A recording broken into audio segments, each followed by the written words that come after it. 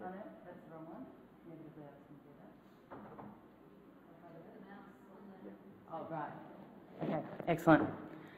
Thanks for the help from the audience. Good morning.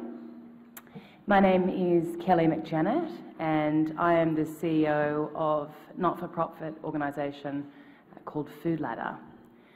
I'd like to begin by acknowledging the traditional owners of this land and their elders past and present, and thank them for welcoming me onto this land. It's wonderful to be back, uh, the 15th annual uh, National Rural Health Conference, and to be speaking on the topic of investing in early childhood nutrition to combat entrenched poverty in rural Australia.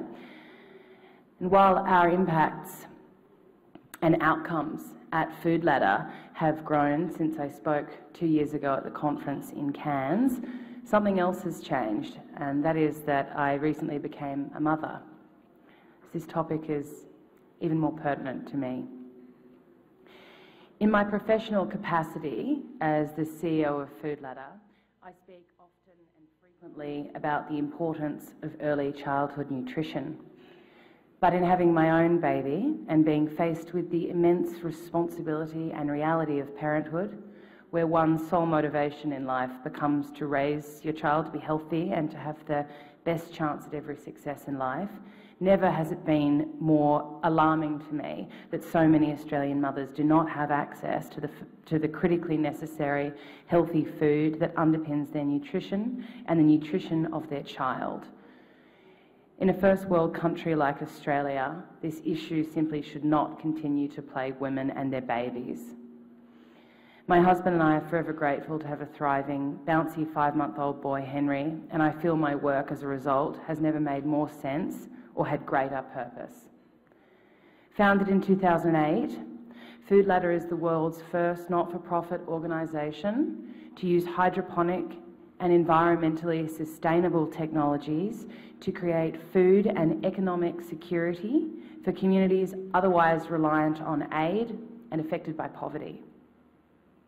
Simply, we use custom designed commercial food growing systems to provide nutrient rich produce around the world, from rural towns in India and Uganda to the most remote parts of, northern, of the Northern Territory in Australia, providing food security, education, training, employment, and more for children and adults. It's a short video.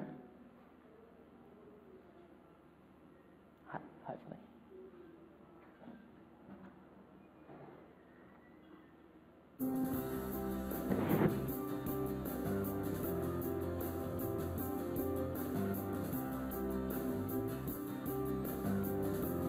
This is in Katherine in the Northern Territory.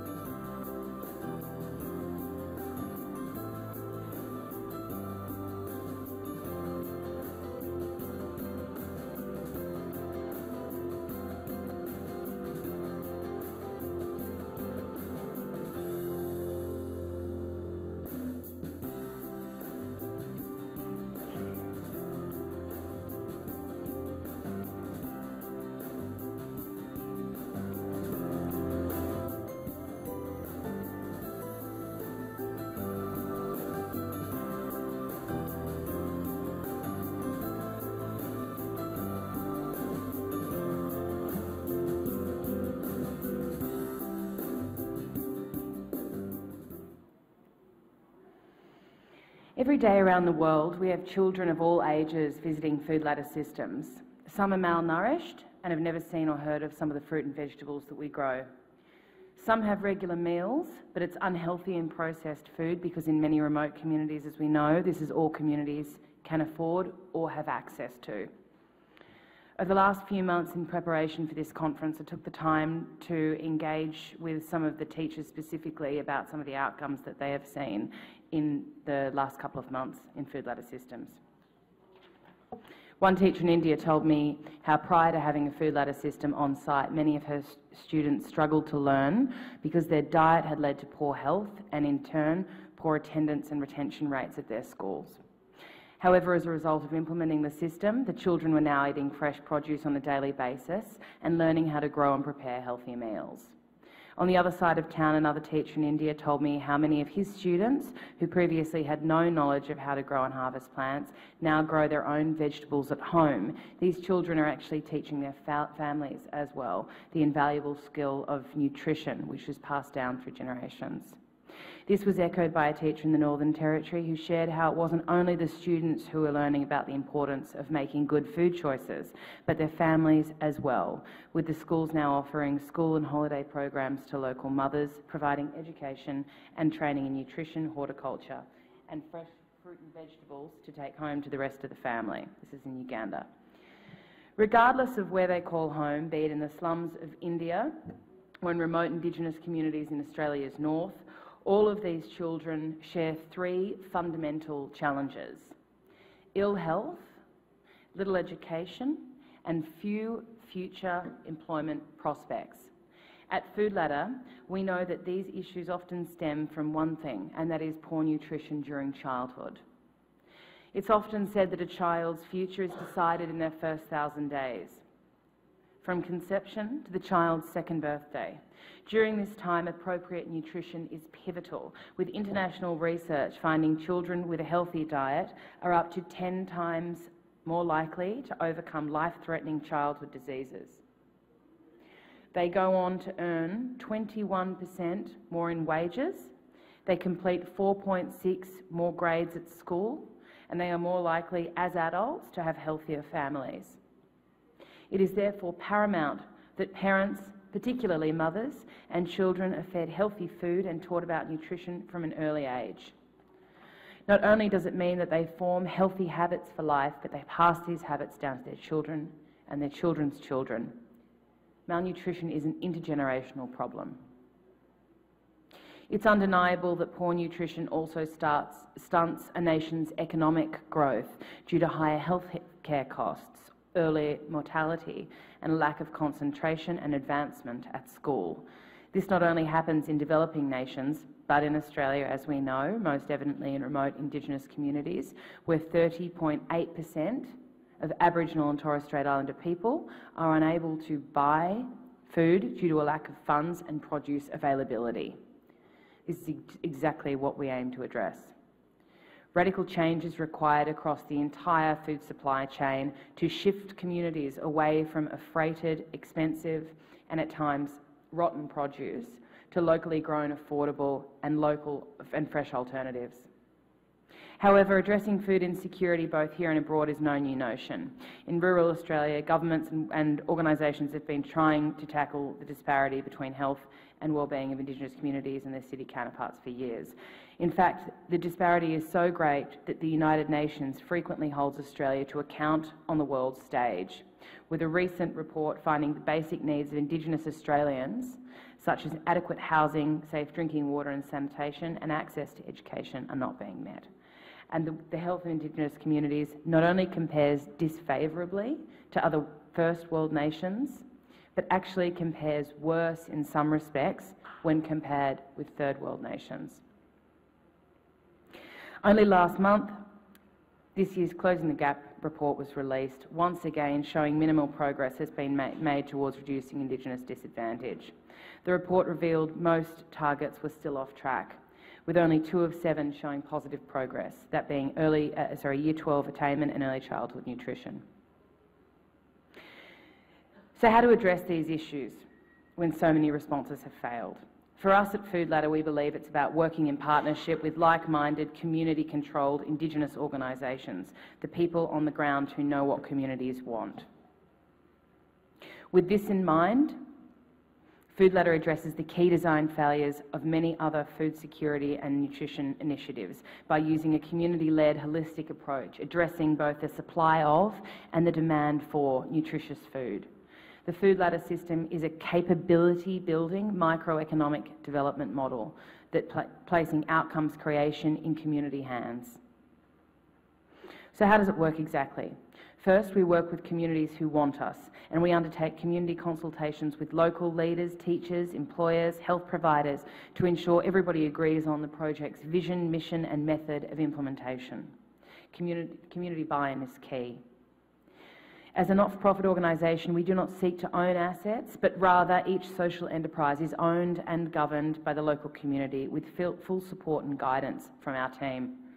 As a result, we build solid and robust partnerships with local motivated partner organisations who own the life supporting infrastructure and support them with training and mentoring until they're able to operate the business independently. Our food ladder system in Ramingining, an Indigenous community in East Arnhem Land, is a prime example. Cut off from neighbouring communities for much of the year during, due to monsoons, Ramingining has limited access to fresh and nutrient-dense produce.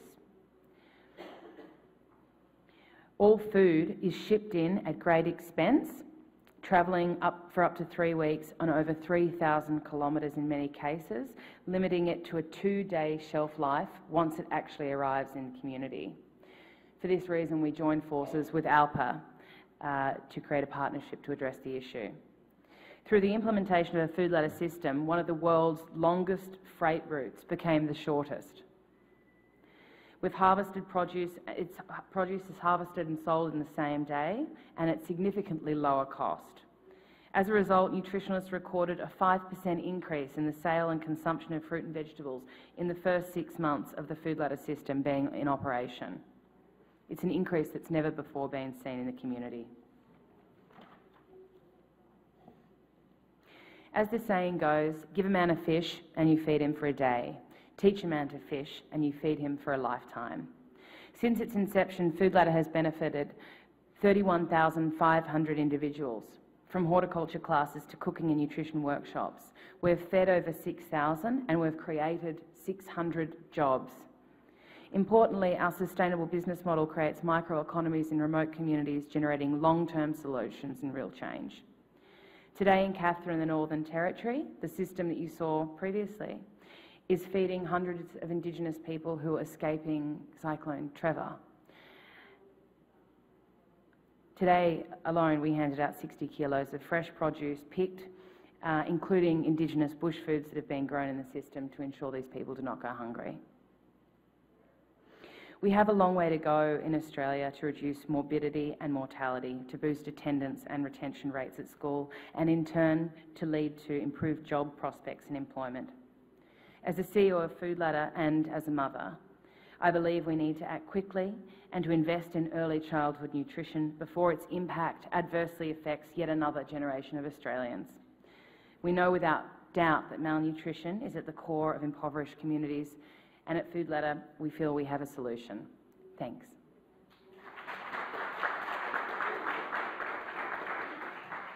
I think I'm just inside time, so if anyone has any questions, great. I'd be very happy to answer. Got microphone and hand around any questions to come.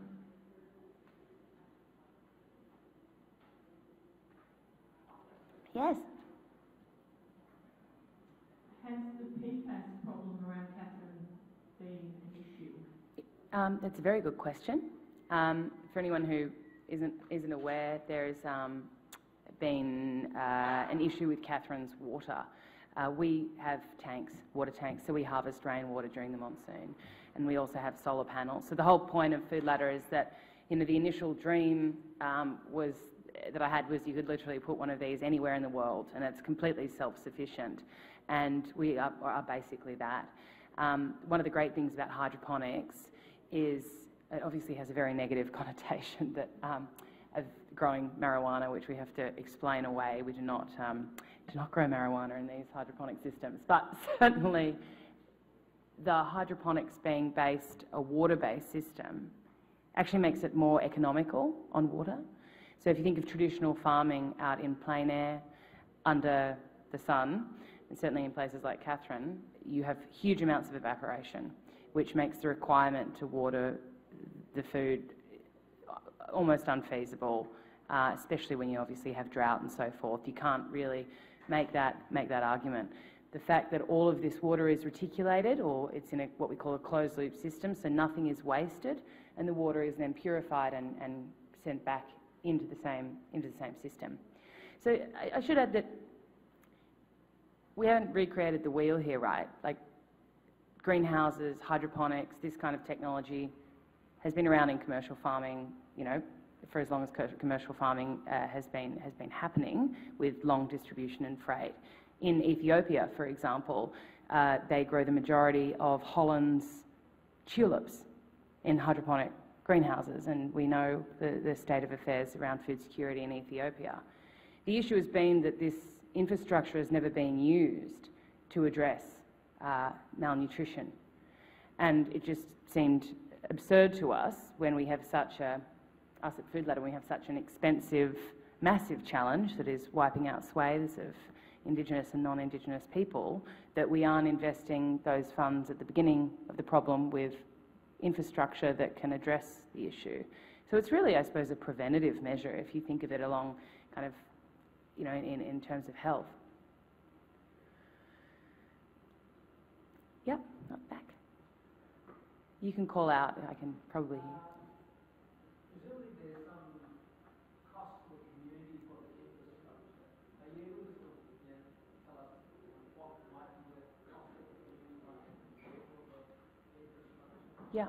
So in Australia, um, no community has paid for a system. So we have had uh, partnerships with Aboriginal organisations, um, but a lot of the infrastructure in remote Australia has been funded by uh, the federal government, um, and that is just for the that is just for the physical um, the physical infrastructure. I suppose the the cost and the buy-in for community it comes out of the long community consultation that we do in the front end, which is about 12 months worth of community consultation. And that is understanding that, you know, ultimately it is the community that will be running the system and taking on responsibility for it. So it's a uh, very uh, important commitment from them to operate it uh, and, and govern it. Uh, and we make sure that there's buy-in across the whole community. Um, having said that, internationally, we are, we are working on a, micro, a um, microfinance scheme where the infrastructure is much, much cheaper. Um, and, you know, I mean, and, uh, and, and, and that would be a different, that would be a different model. So we're exploring lots of ways to scale, but certainly in Australia, in the communities that we're working with, as I mentioned before, you know, there are cyclones and floods and monsoons and very extreme weather. So uh, these, these things are very, very robust and as a result expensive. So to date, it, we've, been, we've had funding from the government for that. But I would add that um, we're constantly expanding and we get approached by many remote communities.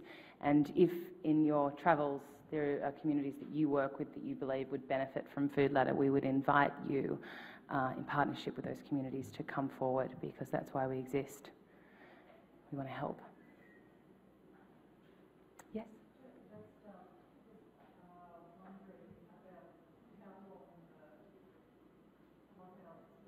Yes.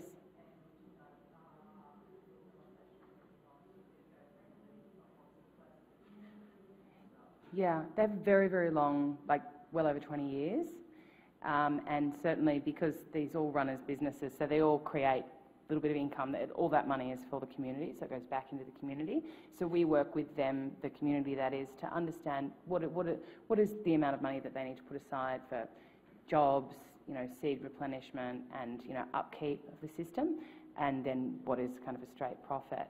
Um, to be honest, the um, this is mostly repurposed plastic anyway, so um, there isn't, there's really not much waste.